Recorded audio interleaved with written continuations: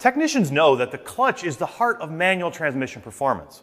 From a standstill, the friction generated by the clutch disc squeezing against the pressure plate and flywheel must overcome the inertia of the vehicle to get it rolling. The clutch must also engage smoothly without excessive chatter or slippage.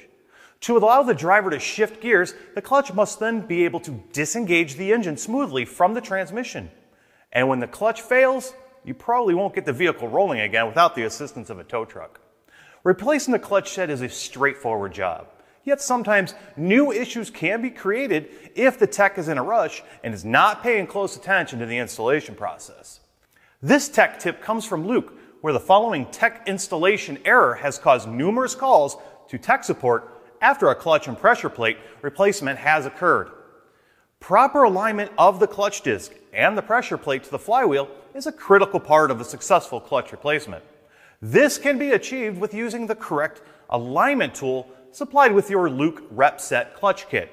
However, there is another alignment that can be overlooked when servicing some GM clutch replacement kits.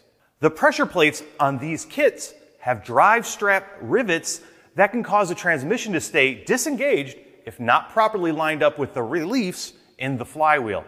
Unfortunately for a technician not paying close attention, the pressure plate bolts can still be installed and torqued to specifications. Essentially, this locks the pressure plate to the flywheel, rendering the clutch disc useless. The only solution to fix this is to remove the pressure plate and reinstall correctly on the flywheel. And lastly, never use an impact gun to tighten the bolts on a pressure plate. Always use a torque wrench and tighten the bolts as directed in the correct sequence instructed by the service procedures.